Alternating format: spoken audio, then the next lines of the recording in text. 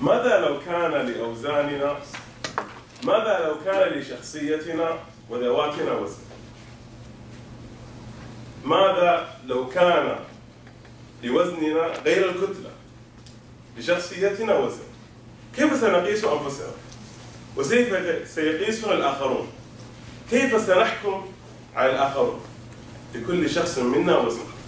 ولكل إنسان ميزان.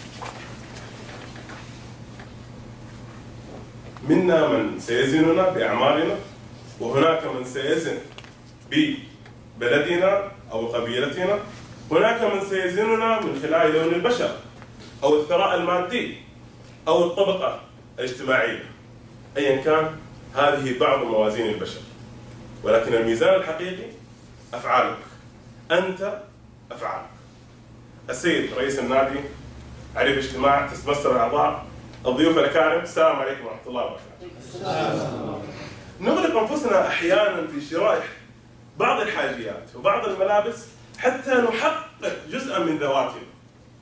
فبدلا من أن نشتريها ونتحكم فيها أصبحت تتحكم فينا وكأنها تشترينا. مرة من الطوائف كنا في المرحلة الثانوية نريد أن نزور أحد الأصدقاء. ولظروف المرض كان كانت فترة الزيارة محدودة. ذهبنا في وقت متأخر لم يسمح رجل الأمن بالدخول. طلبنا وحاولنا لم نسمح لم يسمح رجعنا إلى السيارة أتتنا فكرة. ما هي هذه الفكرة؟ كان لدينا الرجل المناسب أحد الزملاء المظهر المناسب وكان لدينا بشت نستخدمه في مسرحية المدرسة. ألبسناه البشت هيئناه وذهبنا مرة أخرى إلى المستشفى. السلام عليكم وعليكم السلام. معك الشخصية الفلانية. نعم كذبة لكن هذه كانت أيام ثانوية. وفعلا أدخلنا وتغير ميزان رجل الأمن فقط من مظهر. تقول لي المظهر ليس مهما؟ أقول بلى مهم. ولكن لا نجعله دائما وأبدا مقياس رئيس ومقياس أول في الحكم على الناس. نفتخر ونتمجد أحيانا بالعائلة بالقبيلة بالبلد وهذا شيء جميل. ولكن لا نرفع أناسا ونخفضهم فقط لأشياء ولدوا فيها.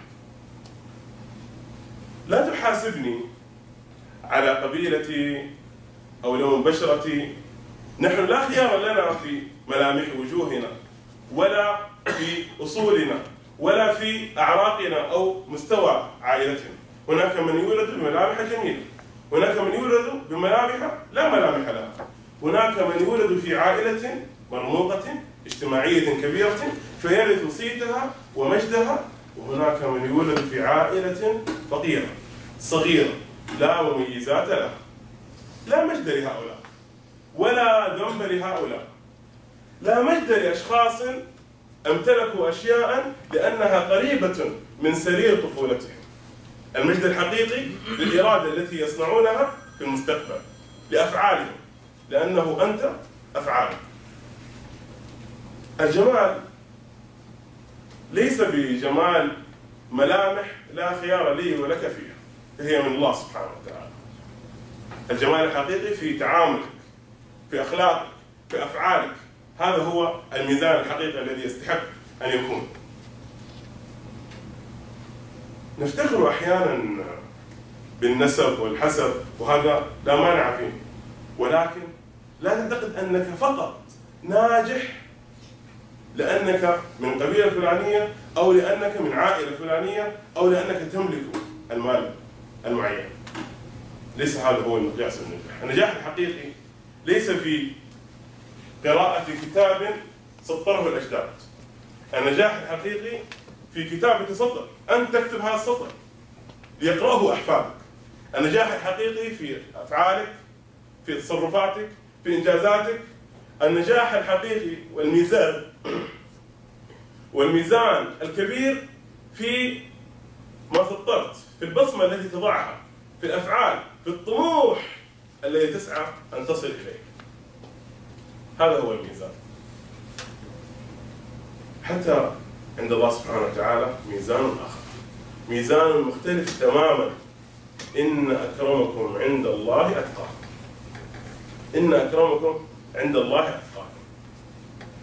حتى عند الرفاق ماذا يقول الناس؟ عندما يتوفى شخص ماذا يقولون؟ رحم الله فلان. كان وكان وكان. لم تبقى عندهم إلا الأعمال. لم تبقى عندهم الأعمال. فلست الأسامي التي فلست الثياب التي ترتدي. ولست الثياب التي فلست الثياب التي ترتدي. ولست الأسامي التي تحمل. ولست البلاد التي أنشأتك. ولكنما أنت ما تفعل. أنت افعال لو سألتكم مرة ما هو ميزانك؟ ما هو وزنك؟